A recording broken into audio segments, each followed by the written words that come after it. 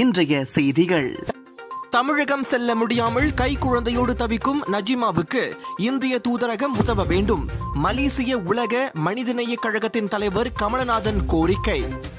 தாய் மண்ணான தமிழகம் செல்ல முடியாமல் ஏழு மாத கை குழந்தையுடன் தவித்து வரும் இந்திய பிரஜை நஜிமாவிற்கு இந்திய தூதரகம் உதவ வேண்டும் என்று மலேசிய உலக மனிதநேய கழகத்தின் தலைவர் கமலநாதன் கோரிக்கை விடுத்துள்ளார். நஜீமா தற்போது தமிழகம் செல்ல வேண்டிய கட்டாயத்தில் இருக்கிறார். இவரது கணவர் நோய்வாய்ப்பட்டு தற்போது அங்கு சிகிச்சை பெற்று வருகிறார். தமிழகம் திரும்பி கணவரை காண வேண்டும் என்பது ஓர் அவசர அவசியமாகும். சிவப்பு அடையாள அட்டையை கொண்ட மலேசியரை திருமணம் செய்து கொண்ட நாகப்பட்டினத்தைச் சேர்ந்த நஜீமா இங்குள்ள அசுந்தா மருத்துவமனையில் முதல் குழந்தையான முகமது ஃபைஸை பெற்றெடுத்துள்ளதாக கமலநாதன் தேசம் தொலைக்காட்சியிடம் தெரிவித்தார். இந்த இரண்டு வருட காலமாக மலேசியாவில் இருந்து வரும் இவருக்கு தற்போது தமிழகம் சென்று கணவரை காண்பது பெரும் போராட்டமாக அமைந்துள்ளது.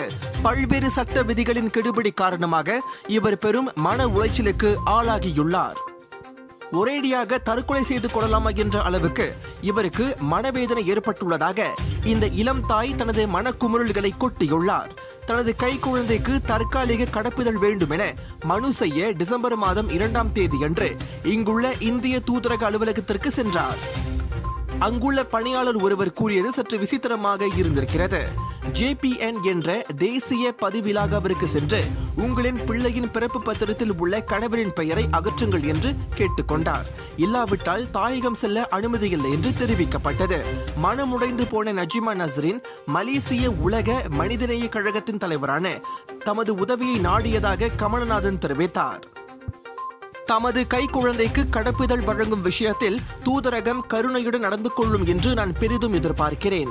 என் மனவேதனையின் வெளிப்பாடாக இவ்விவகாரம் குறித்து செந்தூல் போலீஸ் நிலையத்தில் டிசம்பர் நான்காம் தேதி அன்று புகார் செய்துள்ளேன். ஐந்து முறை இந்திய தூதரகம் சென்று விட்டேன். இன்னமும் இவ்விவகாரம் இழுபறியாக இருக்கிறது. மலேசிய உலக மனிதநேய கழகம் உட்பட அரசு சாரா அமைப்புகள் தனக்கு தக்க வழிகாட்டும் என்று எதிர்பார்ப்பதாக நஜிபா நசரின் குறிப்பிட்டார். தொடர்புக்கு சுழியம் ஒன்று ஒன்று மூன்று ஏழு ஒன்று ஒன்று ஏழு ஐந்து ஒன்பது சுழியம். மலேசிய ஏர்லைன்ஸில் பணிபுரியும் விமான பணிப்பெண்கள் உடலை முழுமையாக மறைக்கக்கூடிய சீருடையை அணிய அனுமதிக்கப்பட வேண்டும்.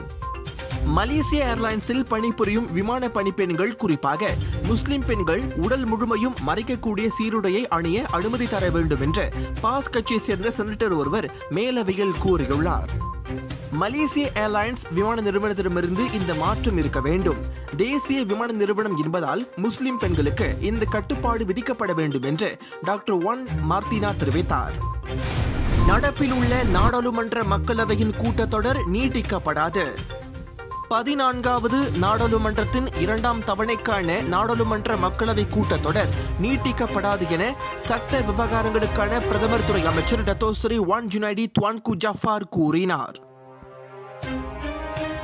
அக்டோபர் இருபத்தைந்தாம் தேதி துவங்கிய நடப்பு நாடாளுமன்ற கூட்டத்தொடர் திட்டமிட்டபடி டிசம்பர் பதினாறாம் தேதி முடிவரும் ஊடகங்களில் முன்பு வெளியானது போல் இன்னும் இரு நாட்களில் நீட்டிக்கப்படும் என தகவலையும் அவர் முற்றாக மறுத்தார். தாசே சிறுமின் ஆற்றினுள் ஆடவன் ஒருவன் குதிக்கும் காணொளி தாசே சிறுமின் தற்காலிகமாக மூடப்பட்டது. ஈபோவில் உள்ள பிரசித்தி பெற்ற தாசை சிறுமின் ஆற்றில் ஆடவன் ஒருவன் ஆற்றில் குதிக்கும் காணொளியானது அனைவராலும் பகிரப்பட்டுள்ளது. இந்த ஆடவரின் செயலால் அந்த சுற்றுலா தலம் பொதுமக்களுக்கு தற்காலிகமாக தடை விதித்துள்ளது. இயற்கை அழகை பாதுகாக்கும் இடமாக இது கருதப்படுவதால் பொதுமக்கள் இந்த இடங்களில் குளிக்க தடை விதிக்கப்படுகிறது. இந்த தகவலை ஈப்போவின் டத்தோ பண்டார் டத்தோ ருமாய்சி தெரிவித்தார். சுற்றுலா தலங்களின் அழகை கெடுக்கும் வண்ணம் அந்த ஆடவரின் செயல் அமைந்துள்ளதாகவும் சமூக வலைதளங்களில் பலரும் கருத்து பதிவிட்டு வருகின்றனர்.